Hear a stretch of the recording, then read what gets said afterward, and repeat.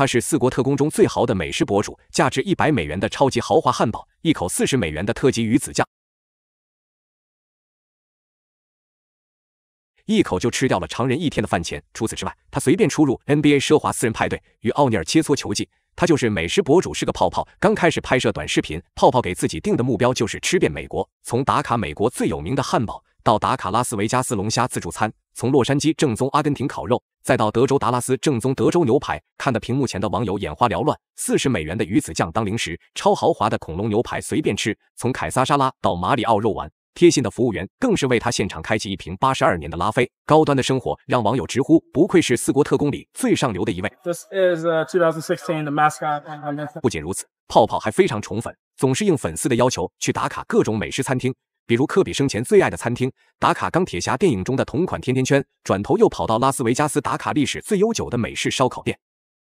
哇塞，每一块烤都是焦焦的。更奇葩的是，别的博主到环球影城是玩耍打卡，结果泡泡却不走寻常路，从进园嘴巴就没有停过，甚至不少网友专门看他的视频见世面。虽然各种美食确实让不少网友大开眼界，但泡泡每次去餐厅点单的搞怪中文翻译才是他视频最大的亮点。本来每次都是正常的对话，结果加上泡泡搞怪的中文翻译，让人忍俊不禁。凭借毫无人性的吃法，泡泡成功吸粉千万。他绝对是全网最上流的博主，目标是吃遍整个美国的美食。前脚还在拉斯维加斯吃着美式手抓海鲜，后脚又闪现一家纽约米其林餐厅，巨型十层汉堡吃到一半直接顶位，墨西哥巨型卷饼好吃到让人沉醉。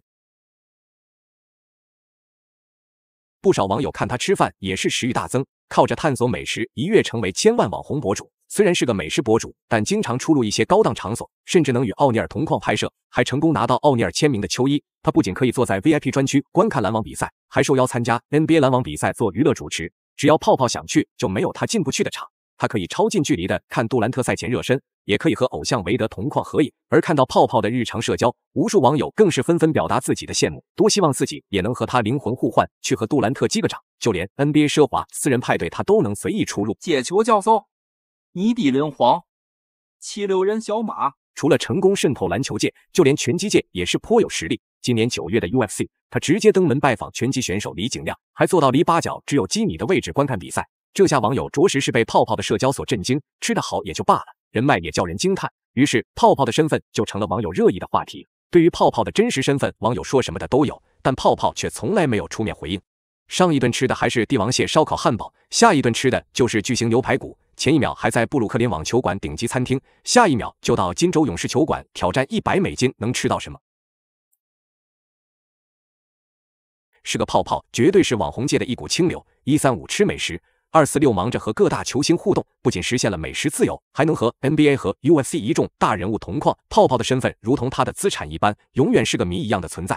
看到他的高端生活和消费水平，网友都认为他绝对是妥妥的富二代。网友对他的身份也是越发好奇。有网友说，是个泡泡，是地地道道的北京小伙。泡泡从小家庭优越，十七岁的时候就被父母送到了美国读书。由于家里是开公司的，每年的收入也有五百万以上。而他之所以成为篮网的座上宾，是因为布鲁克林篮网的老板蔡崇信是他的舅舅，因此他才会得到 NBA 的邀请。甚至还有人说他就是篮网老板本人。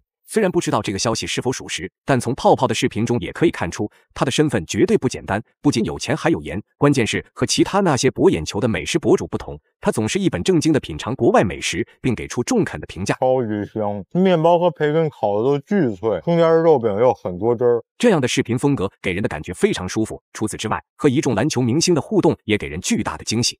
这种低视角带着粉丝追星的独特感，也是泡泡走红的重要原因。